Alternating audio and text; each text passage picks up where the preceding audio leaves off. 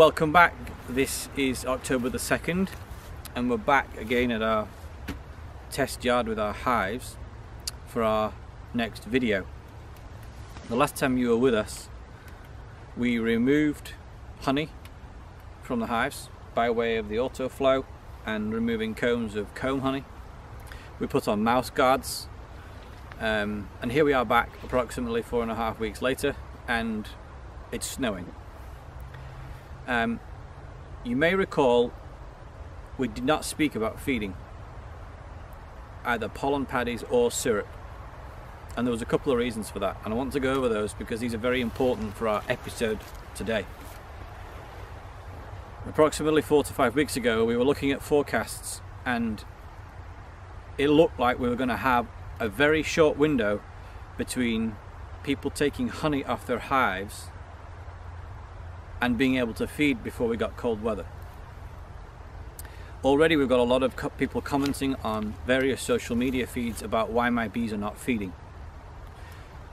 One of the reasons we hesitated to speak about feeding is because we wondered if we might lose the feeding window this year. What has occurred is a very quick transition from warm weather and having honey supers on to cold weather. And the reason that's a challenge is simply because you need 14 degrees in the daytime or higher for the bees to have the appetite to feed and have the ability to bring that feed down into the hive and sufficiently dehydrate it into a honey form so they can use it for winter feed. In some areas in Alberta, especially in our area here in Strathcona County, we've pretty much lost that window entirely. So if your hive is underweight and you may wonder what underweight is, we're going to show you and tell you. If your hive is underweight, you're going to have to think of a much more serious strategy which is called amalgamation, which is where we move one hive, two hives into one hive, or move frames of honey between, or if you've not extracted all of your honey, keep some of those frames back because you're going to need to put it back into your hive to bring your hive up to a weight that will indeed last the bees um, enough stores to last the bees through to March or April when we get our first warm break. Now I want to draw your attention to the hive that we have here. Um, this is one of our um, new hives that we established in the springtime. Right now it's in three deep boxes and, and the, today we're going to take off the top and the vent box and the inner cover and we're going to show you the third box which is hopefully where there's some surplus honey frames and then we're going to reduce the box, uh, reduce the hive down to two boxes with the vent box on the top and the lid and we're going to move it over to the left here which you can't see yet to our hive scale which is new technology being offered by Hive World to provide you more insight as to what is happening with the weight of a hive in a given geographical area. Information is going to be available on our website. So join us now, I'm going to show you what the inside of a hive looks like. It's approximately two degrees today. Um, the bees are going to be behaving very differently than when we were here the last time. And before we go today, we'll have the weight of this hive as it was recorded by our hive scale for our first weight reading of the season.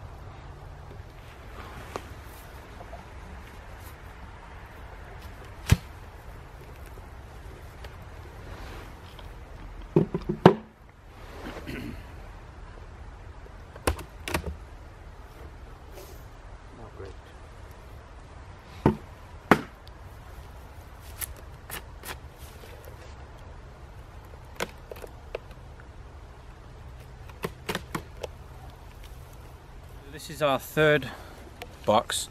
The bees um, grew this hive really well over the summer and we put on an extra box to make sure they didn't swarm and they've built out five frames of honey for us very kindly that we can spread between other hives in the same yard.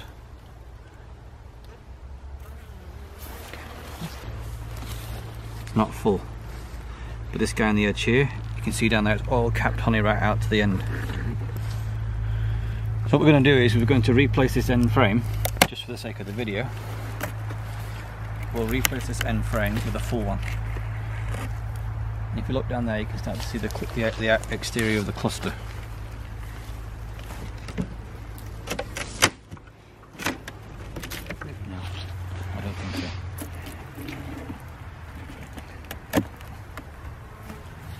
Okay, um, we've got a, this is a very, very full hive. It's very, very heavy. We're going to get a really good reading of weight once we get there, but on the outside I replaced a frame that was not full. So if you've got more than two or three frames on the top that are not full, replace them with full frames of honey before you start extracting anything. Or if you've already extracted them, just be aware that you need to make sure that the fullest frames of honey are in the center because the bees will come up the center in the spring, not out the sides. Now for the purposes of the video, we'll open up the hive so you can see what the cluster looks like today.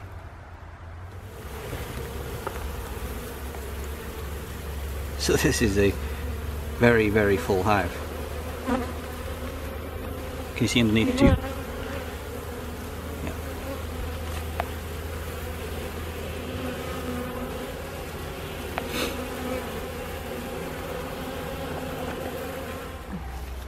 Okay, so we've moved our new two box hive over to the new location it's cool so the bees are not flying so they'll, they'll orientate back here fine. What we've done is we put it onto a new hive scale. You can see here it's the uh, the smart hive monitor and on the hour every hour the device is going to tell us the weight of this hive. You'll be able to be fascinated how that's important when we start to post um, when we start to post the results of the readings on our website so you can see a hive in Strathcona. What's happening to it? How many pounds of honey or how many pounds of weight does it lose in a cold week in December? How much honey is coming in in July? That information will be available to you um, as we go through the winter and into the spring and next year. We'll add more of these smart hive monitors around the province and into BC and Saskatchewan to provide an even larger array of information for our clients. So you'll notice as well this hive is not wrapped. Now we do not recommend wrapping before Thanksgiving even if the weather is cooler. The important reason for that is because this hive is coming to the end of the fall bee hatch. Some may even still have brood in here. The queen may even still be laying. And it's important that those bees are given the best chance of survival because they're going to carry the queen through to March and April. If you wrap early, the temperature of the hive and the condensation of the hive may very well rise to dangerous levels promoting or causing problems down the road. It's important to remember the bees do not heat the inside of the hive. They heat the center of the cluster between the edge of the cluster, wherever it is in your hive, between the edge of the cluster and this area right here, is that area is the same temperature as the outside air. Bees can handle a cold, they cannot handle moisture.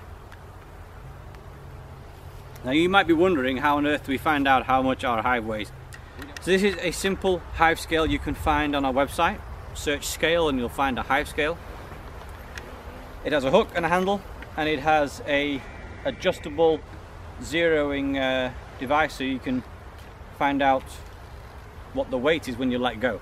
So take your hive scale and position the hook underneath the handle on the side. Hold the hook and hold the handle and lift up until it lifts up the base of the hive.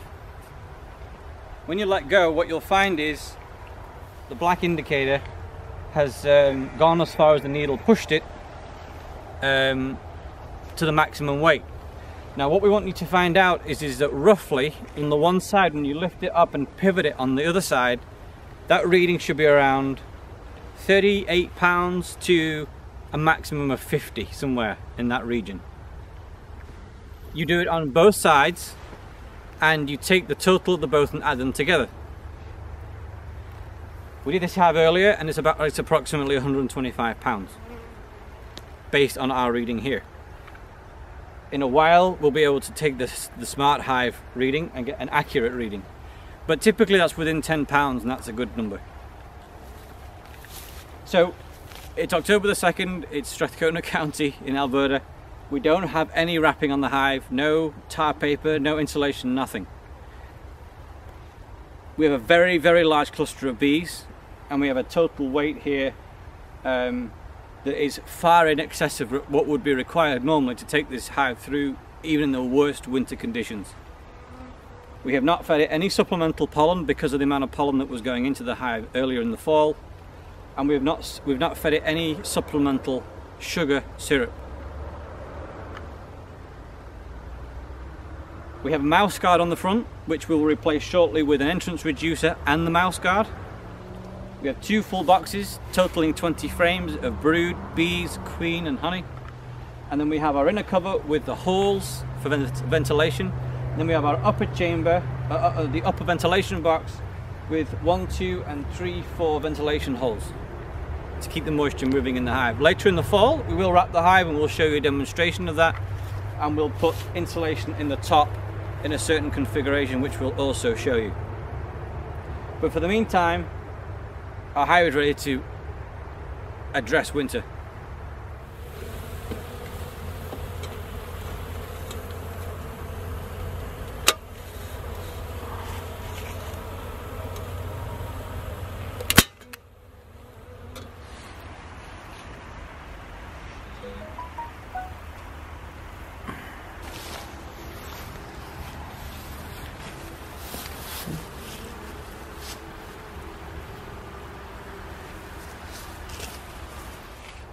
Okay, so in conclusion, the weight of your hive is important. I've given you a strategy on what you can do to weigh your hive. If your hive is underweight, add frames of honey back that you haven't maybe extracted yet to bring it up to that uh, 45 per 45 tip on both sides. Thank you and we look forward to seeing you in a few weeks on how to wrap and to show you some data from our hive monitor and how much um, weight the hive is losing on a daily basis with the declining fall temperatures. If you need a hive scale, you can find one on our website at hiveworld.ca. If you need a hive wrapping kit, which is the black tar paper, a mouse guard and inner insulation, you can also find it under wrapping kit on our website for more information, special offers, announcements, find us on Twitter, Facebook or YouTube, Hive World CA. Thank you.